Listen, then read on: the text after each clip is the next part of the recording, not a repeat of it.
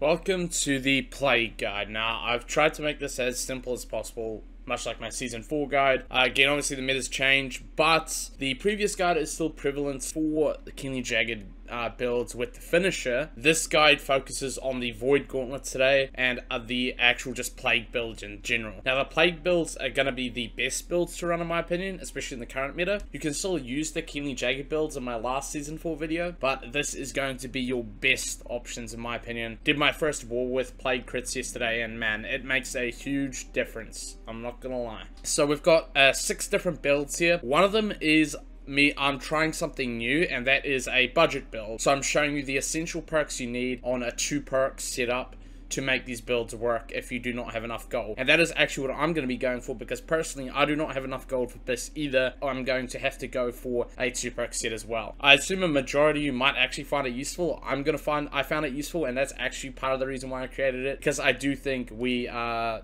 in this current like in the current meta shift it is honestly probably worth it just invest in 2 perk gear because you don't know what's going to change in 2 weeks. So Without further ado, we'll start off with the musket guides, and then we'll move to the bow guides. So we'll start off with, uh, we'll go with musket life taker, because I think that's the, the build that uh, everyone's been wanting to see is the updated void gauntlet guide. Uh, so we'll go on with that. So starting at the top, we're just going to work our way down. Again, you can find all of the links to these on New World Buddy in the description below, all clearly labeled. Or you can go to my Discord and you can go to the best setup season 4 section, and you can actually see all of them there as well. So without further ado, let's jump into it. So, for the Plagued Musket Life Taker, we are running 350, 200, 100. This is the highest DPS with the I would say the minimum con you would probably want to run in builds these days. 50 con is doable in Outpost Rush, but from a competitive standpoint, anything below 100 is basically a death sentence. So again, we're maxing out our damage going dex with the highest scaling for muskets at a 0.9, 200 ints, and we get all those juicy ele elemental passives. You know, I've got the consumables here. You can you can look at that if you want. Some of them are war consumables, but it is what it is. You've got your trees here, so Scream, Tether, and Orb.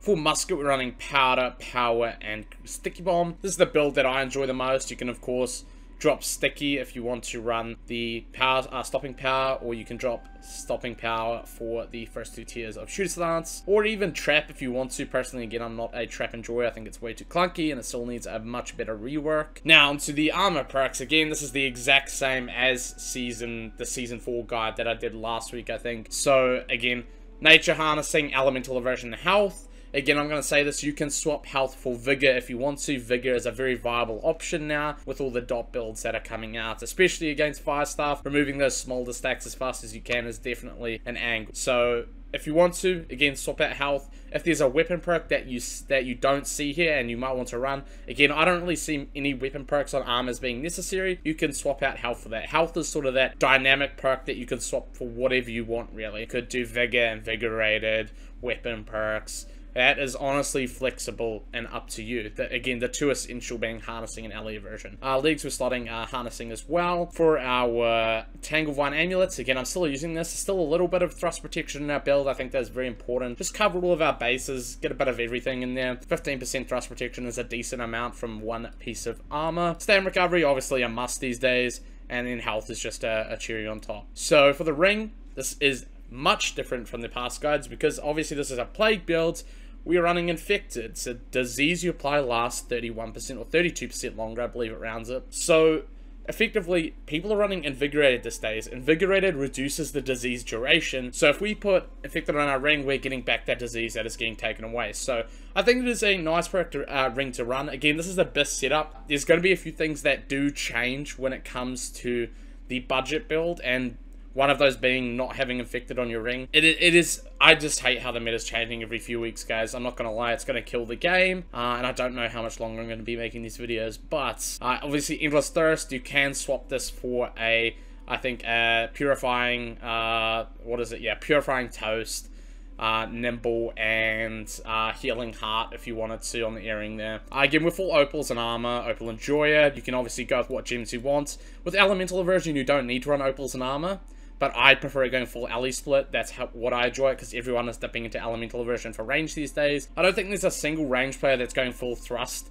Every bow splits, every musket splits, every obviously mage uh, is uh, obviously elemental So, I mean, I like opals. You can go with whatever you want. If you want to go with emeralds, go go for it. If you want to go with slash gems, go for it. It's entirely up to you. Uh, Life Taker, Slowing Tether on there, absolutely insane. And then obviously Crippling Powder on a Musket, we have two sources of almost capped out slow. So that's pretty disgusting and absolutely why I love this build. Again, uh, Musket Life Taker and Bow Life Taker are actually the two highest DPS builds for range in the game. Brutal Heart Rune of Cannon Blast is the uh, Heart Rune that we're going with. Again, nice AoE, good damage.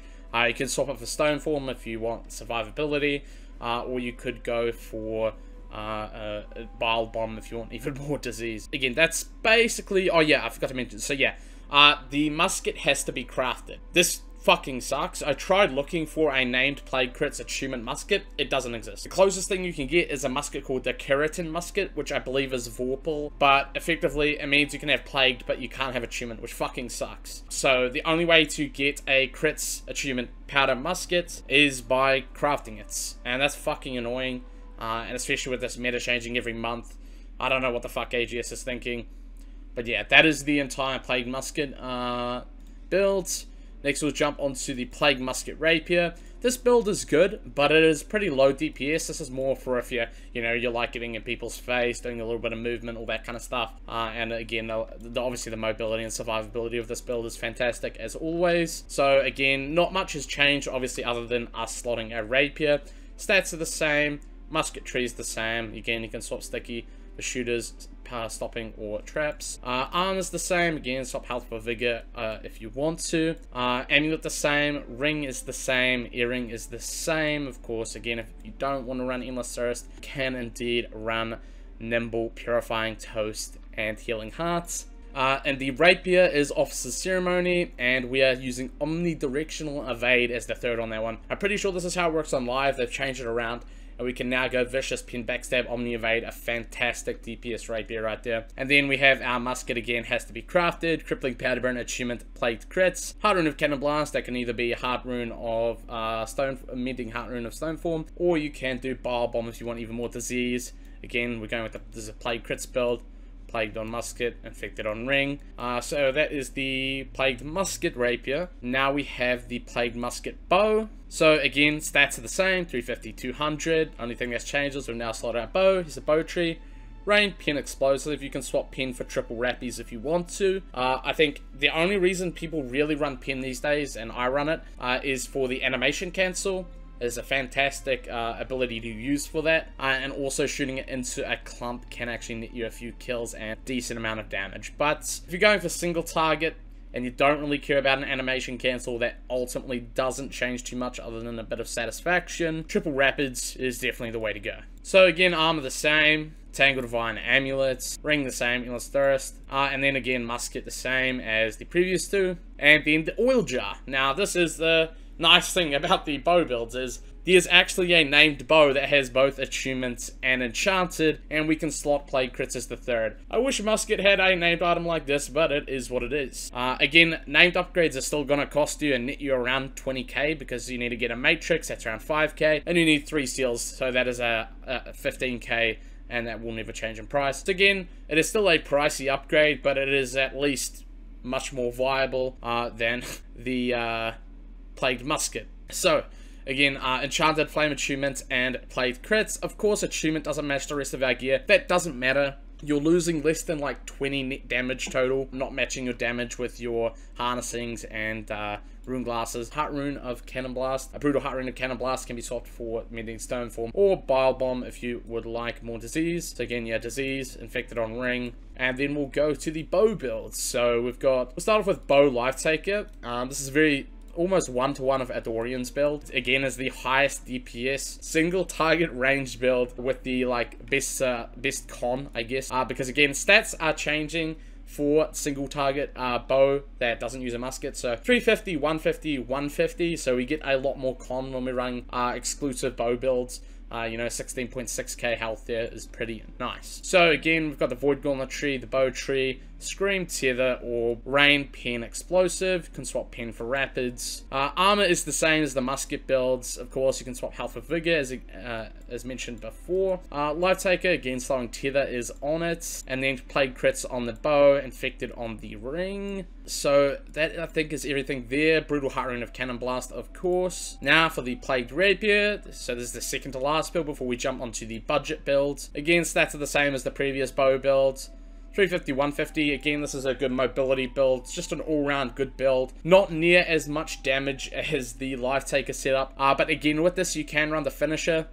Again, the reason why you can't run the finisher, and I forgot to mention that, can't run the uh, finisher with the Plagued Crits Musket build, uh, is because there's no source of bleed. You can't have Plagued Crits and Keenly Jagged. They're the same perk pool, but again, with the bow, Rain of Arrows procs, procs a bleed, which allows us to use Finisher's Harmony still, which is fantastic uh, if you want to use a Bow Rapier setup. Uh, I actually forgot to put that in here, so swap Officer Ceremony for Finisher's Harmony, uh, and then you can actually, again, you get the bleed off Rain of Arrows. Our bow is Oil Jar, Enchanted Flame Attunement Plague crits. Again, I didn't know about this bow, so thanks to Dorian for pointing this out. I'm going to put his guide in the description below. He's a bit more of a bow guy than me. I'm a bit, bit more focused on muskets, but I just wanted to cover all of the range builds you can do uh, for the highest DPS or most consistent DPS in the game currently. Again, arm is the same as the previous ones. Ele Aversion, harnessing, health, which can be swapped for vigor if you would like. Uh, again, endless thirst you can swap for purifying toast, nimble, and healing heart if you would like. Tanglevine amulets,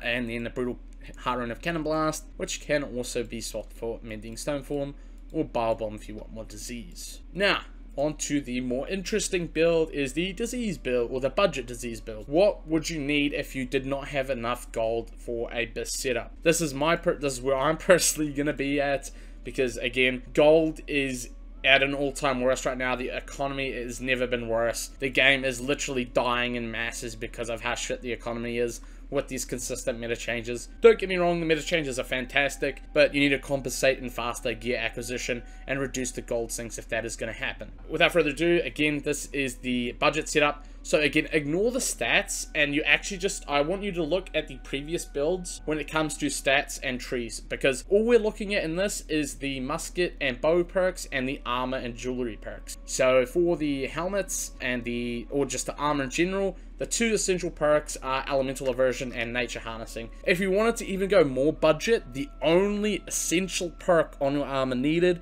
for a one perk setup, if you're really povo, is Elemental Aversion. Uh, again, you should should be able to get your artifacts upgraded at the minimum. I feel like that's easier to do. Uh, the only thing that weighs you down in the artifact upgrades is the Dark Matter, of course, which is just a slog. Essential perks, Harnessing Ele Aversion, uh, hopefully, uh, you can get your upgraded Tangle Vine so you can add stam recovery to that. That is an essential setup. If you can't, a 2 perk Amulet with thrust protection and stam recovery will do you okay. You've also got uh, 2 perk a ring here now. We've dropped Infected because I definitely want you you definitely want to keep your damage that 7% damage of course it's only about 3.5% increase total because we're splits but that's fine it is still a 3.5% damage increase which is a decent amount and then of course hardy uh, which is obviously a must in any build these days, especially light. So you have to drop Infected if you want to make this work uh, for a cheap build. Hopefully you can get your Endless Thirst upgraded. Of course, if you can't, you would go a 2 Perker with Purifying Toast and I would probably say Nimble. You don't really need Healing Heart. Healing Heart is sort of a qual perk. Uh, for the 2 Perker Bow, Attunement and Plagued crits. For the 2 Perker Musket, Crippling Powder and Plague crits. You could go Attunement over Crippling Powder but in my opinion, the utility of Crippling Powder is just too good. Uh, again, uh, Brutal Heart Rune of Cannon Blast, uh, you can swap that for Stone Form. And... Bile Bomb if you want with disease. Uh, so yeah, this is the budget perks again, the two essentials, and all of these are linked in the description. Uh, yeah, I'll see you guys in the next one. Peace.